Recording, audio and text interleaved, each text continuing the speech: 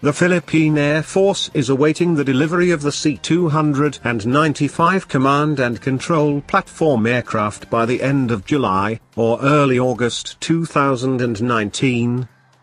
The Philippine Air Force raised a requirement for the A new fleet of command and control platform fixed-wing transport aircraft that can be used by the President of the Republic of the Philippines and important leaders of the Philippine government in cases of emergency.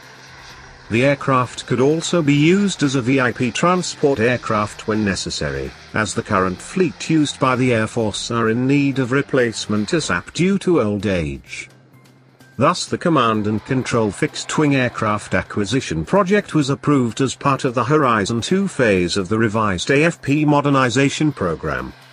The new aircraft are also expected to replace the aging Fokker F-27 Friendship turboprop VIP aircraft currently operated by the 250th Presidential Airlift Wing based in Villamor Air Base in Pasay City, Metro Manila.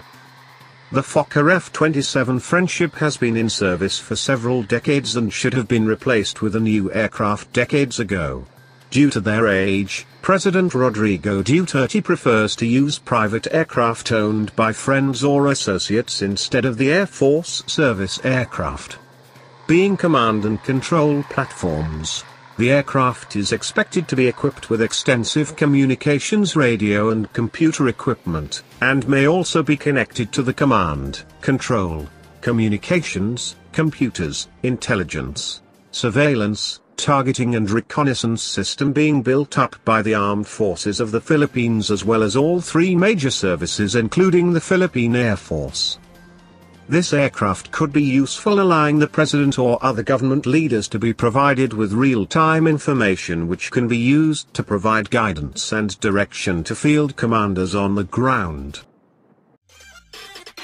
If you like this video, smash that thumbs up and hit the subscribe button to get the latest news about military update and trend around the globe.